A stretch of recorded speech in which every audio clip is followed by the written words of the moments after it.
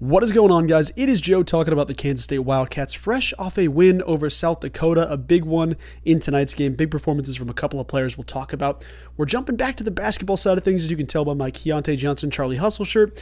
They're not sponsored the video, but shout out Charlie Hustle. They have incredible stuff and they make great stuff. So, in that sense, check it out. Free promo, I guess, in this case. We got a lot of great things to talk about in today's video, but before we do, let me tell you this. It is 12:33 in the morning right now.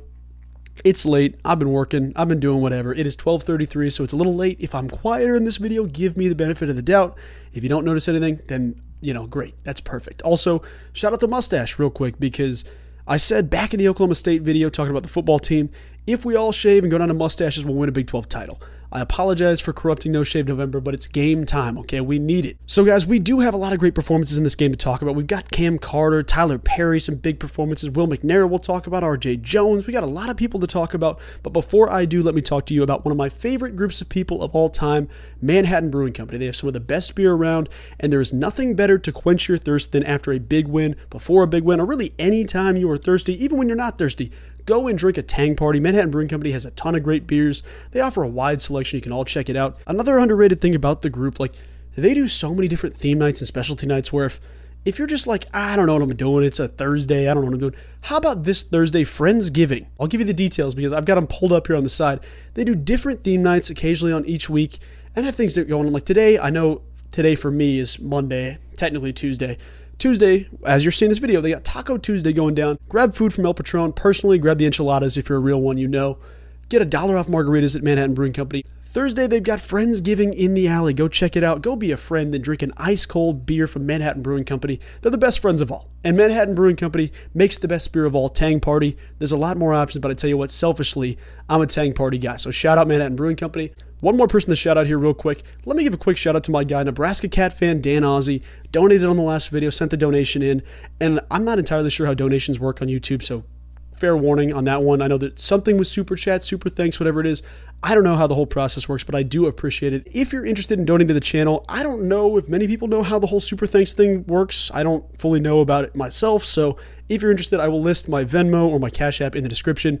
Please don't feel like you have to donate. I'm just saying if you want to support the channel in any way, you totally can. Don't feel like you have to. Talking about Kansas State basketball now, Thank you for paying attention. We had some great performances from Tylor Perry, Cam Carter, Will McNair. You know, you had a ton of people that showed up. RJ Jones was great. How about this, guys? I'll tell you this real quick. One, Cam Carter is an absolute dog. He's an absolute beast. He's whatever animal you want to equate to Cam Carter, that's who he is. The dude is a beast, man. That guy is so good at basketball. Sometimes it's easy to overreact to basketball and try to say, well, does the matchup favor you? Does the team favor you? Does this favor you? Is this defensive? Is this offensive? Sometimes it's easy to say, we have the best player on the court and he is going to be the best player. That's what Cam Carter was. Cam Carter went out there and was unguardable. But not only that, because 25 points, new career high, that is Cam Carter.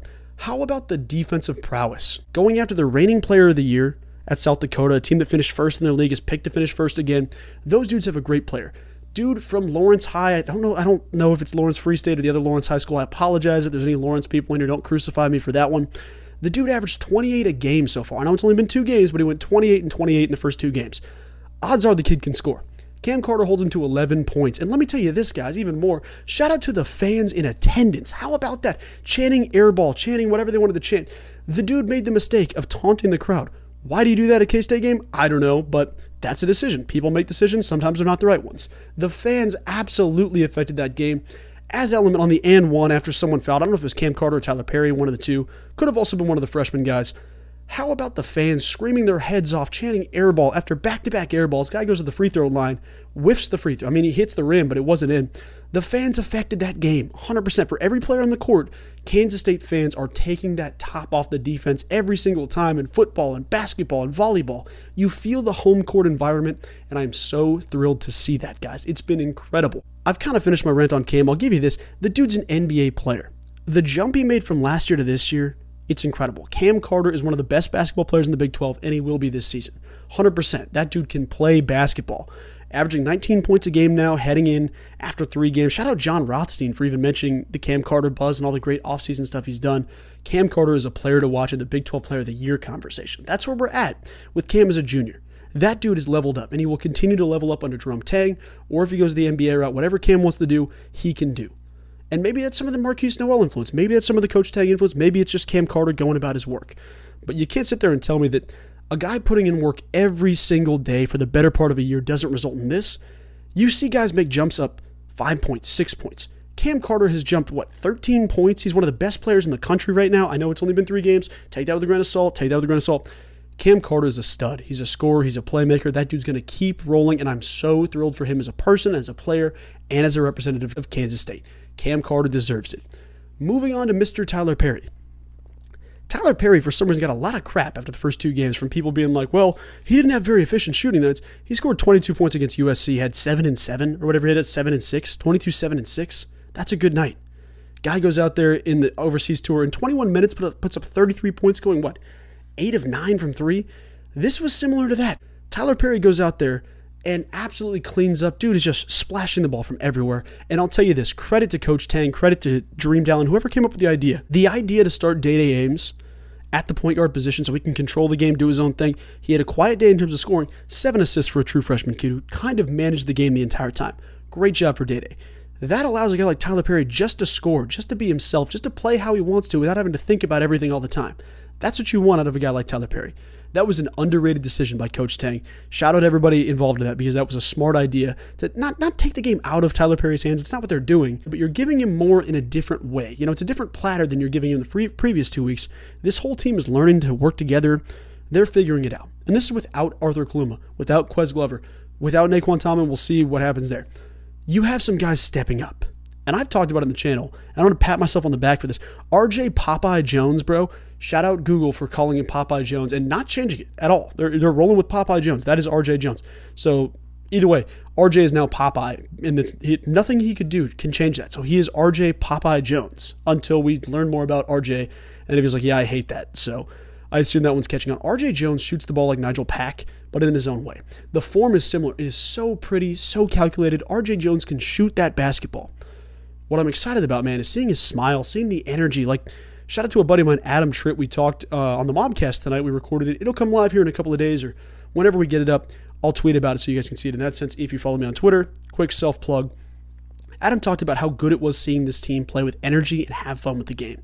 That's what basketball is, man. We're playing a kid's game, and we all love a kid's game. Having fun, enjoying the moment, playing basketball carefree, but also still understanding what you're doing, that's what you want. That's what you see out of RJ Jones. That's what you see out of Dai Dai Ames, Tylor Perry, Cam Carter. Cam Carter's and one that the South Dakota dude just tipped in for him, and then Cam's got the biggest, cheesiest grin. Those are the moments you want to see. Those are absolutely huge. Awesome moments to see. Next thing here most threes ever made under Jerome Tang at Kansas State. I know it's only been two years or a year and some change, but think about the three pointer shoot, three point shooters you had last year. Keyontae Johnson can hit multiple threes. He shot 40% from the field. You get it like Markquis Nowell can shoot from, you know what, the other team's the other team's free throw line going that way. He can shoot from anywhere on the court the most threes made in a game, even over a game where you shoot 116, you put up 116 points against Texas. This team already passed that. Most threes made. So everybody's saying that this isn't a good shooting team. That's not the case. This team can shoot the basketball. Will they live and die by the threes? Yes, to an extent, but they got a lot of paint touches, and that's what we'll tie in here next. Will McNair Jr. This was a good day for him. He started playing the offense a little bit more. He understood when he's making better plays. He's passing to the right guys, doing the right thing. You see a little bit of that moment where he can kind of result to that, hey, down low, we need a guy who can go score. He's on the low block, he can turn, have a right fade, whatever you want to do. He's a playmaker at multiple levels. That's going to change a little bit. Obviously, it's going to be a you know, it's going to be sparing when you need a guy that's going to have to take over the game on a low block. I don't think Coach Tang will need that a ton, but having that in your back pocket is awesome to see. Will McNair, most deflections I've seen in the first half. I mean, the guy looked like a guard where he's just getting his hand, hands on passes left and right. Keyontae did that. Cam Carter did that. Desi Sills is a great example. There's some weird parallels with Desi Sills, even though they're two different players, two different sizes, two different positions. That's a thing. There is some energy with Will McNair when he's playing peak basketball, and we haven't seen it yet. Don't get me wrong, we haven't seen it yet. This was a great day. That energy is there, and he's going to be a fan favorite very soon. Also, when we're talking about fan favorites, every one of you knows who I'm going to talk about. Macaleb Buddy Rich. That dude's incredible. What a what a dynamic human being. What a dynamic athlete. That dude can play the game of basketball and jump and touch the top of the backboard flat-footed and then yam on somebody's head. That's what this dude can do. When I watched his high school highlights, I think I talked about on the channel. Maybe this was this might have been before I started the channel, so I apologize for not getting Macaleb's highlights in there yet. The dude was bigger, stronger, faster, could jump higher and play better than everybody on the court. That's high school. I get that. A lot of guys are like that. Then you get to K State. Then you work with Phil Byer and you see the strength, you see the work. That's the reason that Cam Carter, not the full reason, but that's a part of the reason Cam Carter has like a 40 inch vert now out of nowhere, where he had maybe, you know, 28 last year. We could still dunk the basketball, but now he's flying through the air, floating through the air. He's got the bunnies. Macaleb Rich, we haven't seen anything yet. Words from Cam Carter, words from Tylor Perry. We haven't seen anything yet. What that tells me is, is it means he has a 720 dunk in his arsenal. An underrated thing about Macaleb Rich that won't, you know, it won't be represented in every game, but you'll see it occasionally the dude knows where the basketball is going to be when it hits the rim. Wherever it's at. If it's up in the air, he knows where to track it. And that's an underrated skill that not every guy has. I mean, it's not just to say that some guys don't know where the basketball's going or whatever you want to say, but Macaleb Rich has an uncanny ability to be where the basketball's at. That's an incredible skill to have, especially when you're built like a Zion Williamson. Obviously, you're 6'6", 240 as a true freshman in college. That's ridiculous. And we're going to hear so many of the white dad cliches of like, wow, if that guy wanted to take the break and you know go over and play tight end for uh, Chris Klieman, I bet they'd like that. We've already heard a ton of those already. It's been three games. We've heard a ton of those. We heard that with Keyontae all last year. Brace yourselves because it's coming back with Buddy Rich. Buddy, big and rich. Buddy Rich, what a dude. Absolutely excited. Buddy the Elf. Any nickname you need to give this kid, if he keeps posterizing people from the free throw line, from what feels like the free throw line, that's going to be a good day. Excitement is in the air with Kansas State basketball. Let me see if I had anything else for you. Oh, I want to give you a specific stat. I don't think I've said it yet. On the Tylor Perry thing, guy has shot 14 of 29 from three this season. If you do the math, that's 48% from three. That's ridiculous. The dude guaranteed to me at Big 12 Media Days that he's breaking the K State three point record. I believe him. 100% I believe. I think it's 110, 112, 119. Neither him or I was right keyed in on it. So he knew closer than I did, but check that out. So that's going to be something to follow for sure it's an exciting time to be a K State basketball player. It's an exciting time to be a K State fan, to be a coach, whatever you want to say. I am so thrilled to see these freshmen develop, to see the players develop, get guys healthy, get Arthur Kaluma back, get Ques Glover back. We got a lot to talk about, my friends. I promise you that. But let me get you out of here by saying this. If you enjoy Kansas State videos, go ahead and consider subscribing. I talk about K State each and every week, depending on what happens. And we'll do some more of these post game comments. One more time, shout out to Manhattan Brewing Company for sponsoring this video, as well as my friend Nebraska Cat fan Dan Ozzie. I always appreciate the donations, and it does help a lot, especially being a college kid fresh out of college. It definitely helps. Not saying you have to, but it does help, and I do appreciate it. So, whenever you guys want to check out any videos, I should have stuff.